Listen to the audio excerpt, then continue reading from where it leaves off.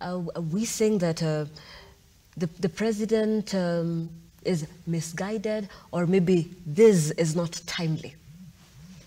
It is definitely not timely because when you look at the financial bill right now, it's talking about more, it's talking mostly about, you know, additional taxes, levies, you know, like the housing fund. And when you look at that, it's, it's, it's, it's, it's more about adding a financial burden on Kenyans as opposed to removing the financial burden that Kenyans are under right now.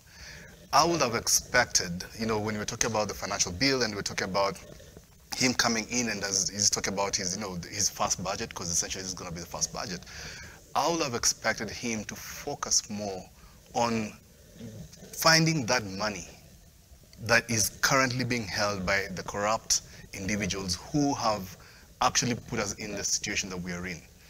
Unfortunately, um, and I think it was, was it yesterday that I think he withdrew the nominee, one of the PS nominees, because, you know, at that point they're saying, you know, this person uh, was at some point found in an e with an issue about, you know, fake dollars and things like that. And I'm like, by the time that that name got there as a nominee, you know, as a nominee, are you telling me with all the apparatus we have, they did not notice that? That at that point is when they realized, oh wait, there's a problem here.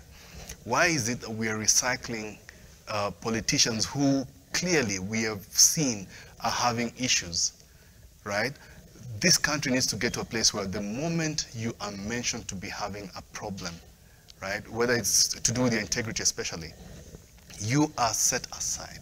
And that's the constitution. Yes. And the president has said today that he is forming a government where it's not just about rewarding friends, but for the goodwill of the people.